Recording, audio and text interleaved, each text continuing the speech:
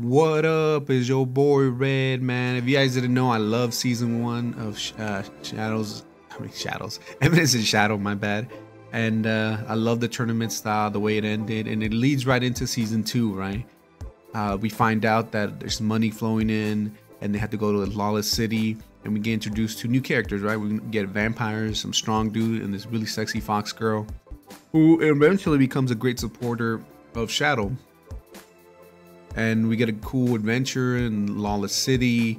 Uh, things get found out, money gets you know stolen. It's it's an awesome arc. If anything, season two had some good arcs here, and then the short what twelve episodes to ten, we get to see all of them, right? Uh, the biggest arc though is definitely at the end with uh, Princess Oriana and the kingdom that she's from.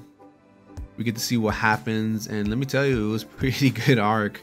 I actually enjoyed it. I mean, even our main character started enjoying it. I think towards the end because if you guys didn't know, this season, if anything, is a season of uh, Cid, our main character, Shadow, finding himself. Right, uh, he's went through a lot. Um, his sister, apparently, we find out also has a secret spirit inside of her, which we have seen in season one, so that's pretty cool.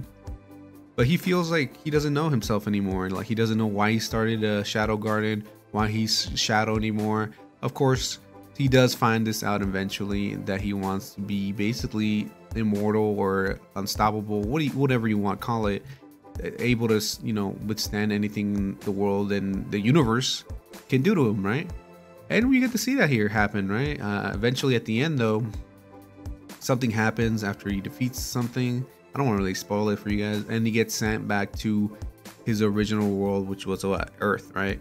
So hopefully, there's a movie announced we're gonna see if they're gonna continue through that because it seems like some things went down while he was gone or dead in Earth, and it seems to be robots or cyborgs. I don't know what's gonna happen, but it seems cool. I'm excited for that.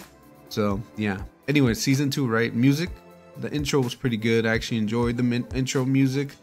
Um, not as much as season one, but just just enough, right? Uh, a lot of um, more uh, stuff between uh, Shadow Garden and uh, the rest of the world and trying to shape stuff, get money. You know, you know how it is.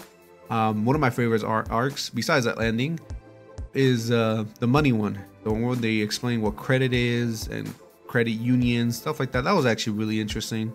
And seeing Cid steal money and then report it as false credit in order to basically plummet in the whole economy of the empire or whatever that thing, the kingdom was called that was pretty cool.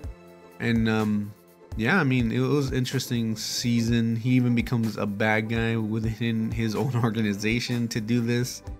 It overall, I was I was really impressed. Plus, we get to see Delta fight a lot, so that's pretty cool. Um, overall, the what would I give this one? Oh, hold on, forgot right. What's gonna happen to his people now that he's gone? I don't know. We'll find out, right? Hopefully, like I said, the movie, I'm kind of excited to watch this movie now. Hopefully, it's really good and can tie it into another season because this show's actually not a bad show. I just wish it had more character development within his own organization, but that's just me, right? That's just me. Anyways, what would I give this season? Hmm, what did I give season one? I think I gave it an 8 out of 10. I like this just a little bit more, but I wish, you know, I wish certain things from the show that they're not delivering, but it's fine. I'm still gonna give this one an 8 out of 10. I really enjoyed it. They seem to be keep you know the the pace going. I really enjoy it. Like I said, hopefully we get to see the movie soon and badass movie, right? And uh, thank you guys again for watching. Hit that like, hit that sub, and I'll catch you guys in my next review. All right, peace.